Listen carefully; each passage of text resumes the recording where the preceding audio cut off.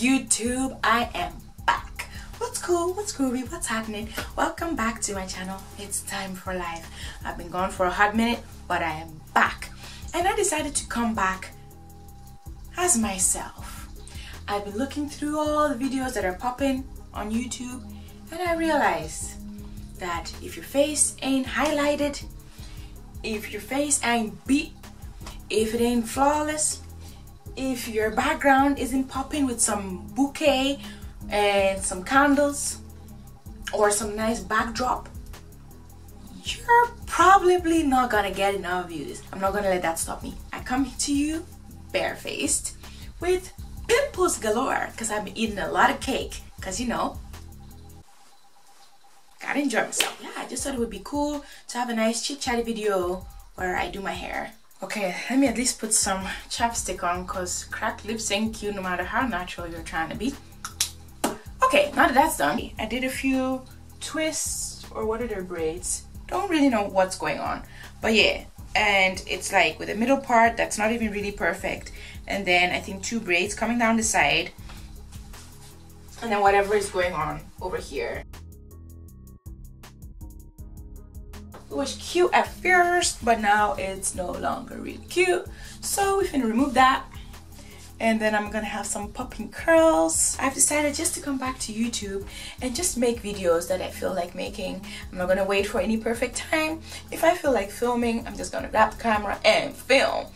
And yeah, just put stuff out there. Cause I've been seeing a lot of videos. Um, you know, a lot of chit chatty videos and stuff like that and when it comes to YouTube, I think one of the most important things is to just begin, just start if that's your passion, if that's something you really enjoy doing. And I really like creating. So the best thing to do is just to start.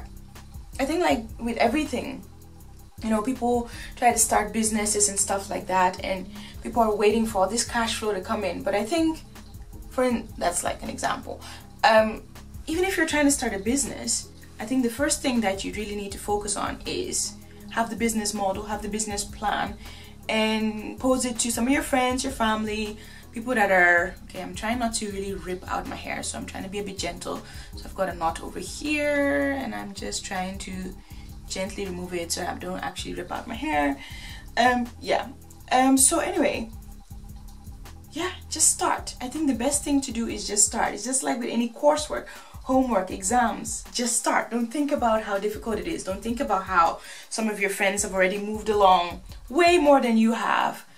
Just start. And if you start today, you're already one day ahead of time than if you start tomorrow. So that's, yeah, that would be my advice to myself and to whoever is listening to this. So anyway, I've removed these braids here and then I've got this long twist. And it's, this was a very messy style. It was basically like straight out of, you know, straight from washing. And I just kind of did it very quick. I was done in like 20 minutes or so. Um, because I didn't want to spend too much time. And now that my hair has grown quite a bit, I do not want to spend, let me just come closer so that you can actually see what I'm doing. I don't want to spend too much time, you know, doing this hair because it's quite, you know, it's quite long now. I don't have to spend forever and a day doing my hair. So I don't. yeah, there's no point. So if I can do a wash and go, ooh, I did a nice wash and go a while back. I didn't even know I could do wash and goes. So for those of you watching that do not know what wash and goes are, because I still know a few naturals that don't, and are not really watching all these YouTube videos and stuff, they don't really bother with that. Um, but yeah, if you don't know what wash and go is, it's basically this natural hair. Mine are very tight curls. Um, you just literally wash the hair and you go. You don't twist it, you don't braid it as in you don't put your hair in any protective style you just wash your hair and go.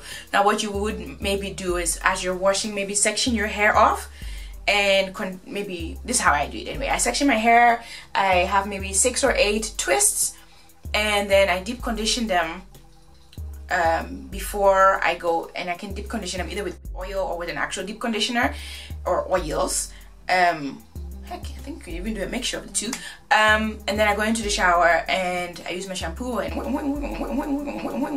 and then I um, rinse it out with the twist still intact. So I really focus on the scalp, which I can still get to. Really focus on the scalp, make sure all the dandruff and everything is gone. Make sure it's smelling lovely. And then I just kind of wash it out with the shampoo, get everything out. And then I put my conditioner um, in my hair. And then yeah and it's actually my homegirl my friend my sister who taught me how to do this and i was watching all these youtube videos of all these natural girls and i would just kind of watch them more for entertainment purposes but i wouldn't really watch them to really learn something from it to really think oh what am i going to do with my hair just now? So yeah what's the point? You know youtube is i once saw a comment that was like um youtube is the best university i ever went to which is kind of funny but you can learn a lot from from YouTube, you know, and it's free. Thank God. So now I've got all these curls here. What was I saying before? Don't actually remember what I said. What was I saying? Ah, about the washing. Yeah. So then I wash the shampoo out whilst the hair is still in twist, and then I put another leave-in conditioner or something in there, um, and then leave it for a bit. Do whatever I gotta do, and then I rinse that out again whilst my hair is in twist. So my hair doesn't keep getting. You know, I used to remove it and then finger detangle. But I find that now if I do my finger detangling beforehand and I do finger detangling and I don't use a comb or brush all the time, uh, maybe once a month or so I will, but for the rest I just use my fingers because it's much more gentler on your, your hair and it doesn't actually rip out you know your hair so it's much better so like once a month I'll go through with like a comb and stuff but otherwise I won't um, anyway then I just leave and twist for the whole process because it's ready to tangle and I just get the product out of the hair. And it's so much less of a hassle. I come back to do the hair and I just remove the twist and then I go with my LOC method which is my liquid my oil and my cream to seal the oil. And in that order so that you're locking in the moisture you're locking in the oil with the cream. And yeah then I just style it however I want to. So that's what I did with this hair. And now it's nicely stretched and stuff. And so my best friends are bobby pins. I love bobby pins because you can do so many things with it. And then I love this brush right here. Is really good because it's very hard. Then you've got this Denman brush which I don't know what's going on here. Anyway which is also really great. And I've removed some of the uh, what do you call it? Some of the, the, the teeth of the comb. The more bristles or teeth go through your hair the more you're going to rip out your hair okay let me actually do my hair whilst I talk to you guys. So I actually thought ooh maybe like a cute high top bun and then something else at the back. I always thought that the more comb like bristles a comb had the better it was for removing for basically detangling your hair. But that's not what's necessary to detangle your hair. And what's necessary is a bit of patience and some kind of skill. So yeah so basically what I'm gonna do now and I'm not even actually adding any more product because here's what's hap what happens right? If I add water to this now it will be all frizzy. As I'm filling it it's really quite it's really moisturized. It's not dry or anything and I have been refreshing it and putting water all the other days. And on top of everything I'm going to swim tonight so this kind of was looking at YouTube videos and just thinking hmm seeing anything out there. I don't know. It's becoming so interesting. You've got all these channels. You've got the makeup folk, which I don't know how they're still getting, you know, they, they're so talented because they still come out with the new looks and people are still coming out with new products and innovative stuff, which is really cool. So you've got that crowd. Then you've got the crowd who's just out here bashing people that are just trying to make it and are living their own lives. Then you got people, you know, you like those review, those channels that review other people's channels.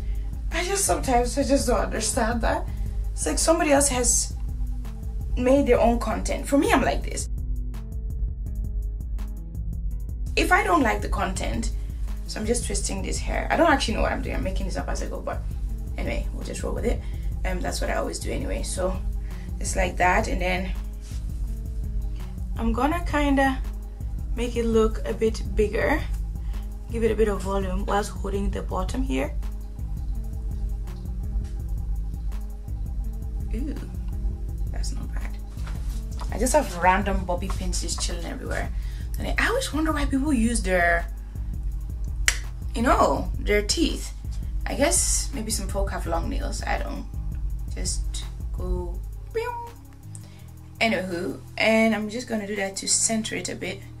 So I've tucked it in to the elastic. So it was the mailman. Was this thing that I gotten? It's a plastic. Um, it's like a silicone bag that you can use instead of plastic bags because I'm trying to go zero waste. So I want to make sure that everything that I use is like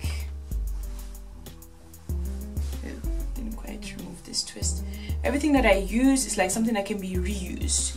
Um, because everything is ending up in landfills and everything is ending up in the sea. And if I can do anything to help stop that, then that's good.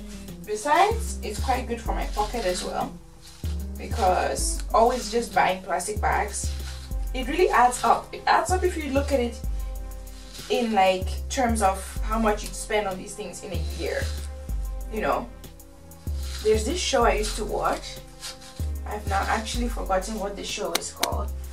Um but anyway they would just they would just say oh you know that coffee you get at at Starbucks every single day for like four pounds? Yeah that amounts to blah blah blah blah blah a year. And when you put in that perspective it's like it's a lot. So yeah.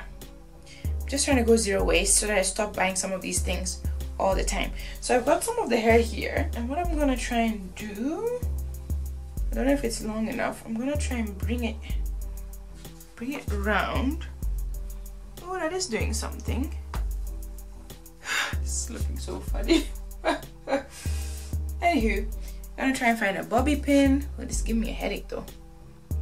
Ah, not necessary. Oh, I actually have a headache. Okay, gonna remove the pin. I don't like any of this. Maybe loosen this a little. So you got that twisted, and then gonna maybe take the other hair that was in the middle, this here, and bring it around and twist it. This is just how I had divided it before. So I'm just keeping the hair in that same oh you can see my elastic band. Okay I'll just put it in front. Uh, sometimes it's just you know trying to see what what really works. So I'm gonna tuck this under. And just take the big old bobby pin and try and you know just kind of try and push it in there. And now we got a look. And then the rest of the hair. If we let's say for instance you're trying to get these small hairs in. I don't know if you can see this actually. But anyway trying to get these small hairs in. That's where this guy is really amazing. Because it will just smooth everything right on it you know. But I, I never really go for too slick a look. I like the curls to be popping. I like to see the curls. Anyway this video is a little bit all over the place. I just decided to turn this camera on and just chat with y'all.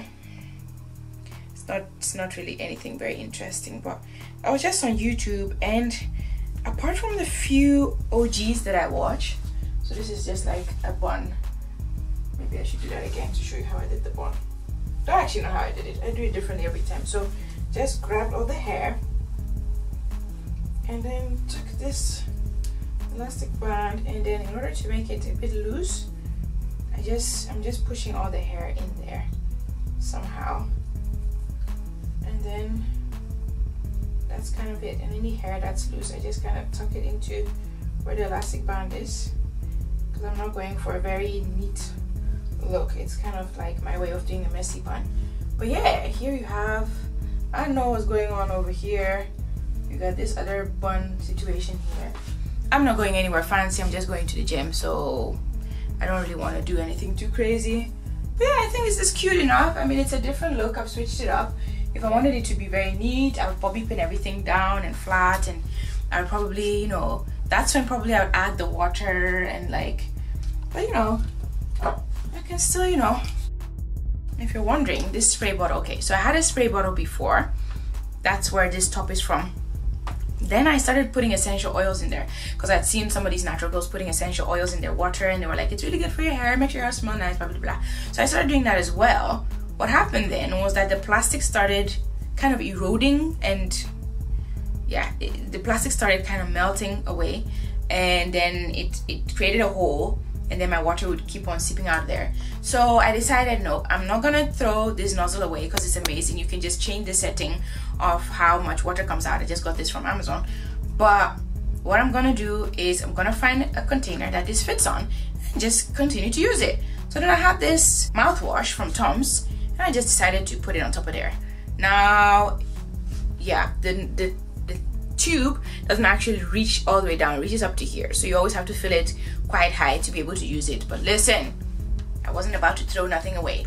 I saved all that money by not buying a new thing and it might look a little bit crazy, I use it anyway and it gets the job done. I've also seen people use things like these type of containers with these type of normal nozzles um, to you know spray spritz water into their hair but you know ergonomically I just like having that kind of squishy thing rather than having to do this because um, it kind of hurts my hands. So anyway, that's what I've just done to just, you know, refresh it a little bit.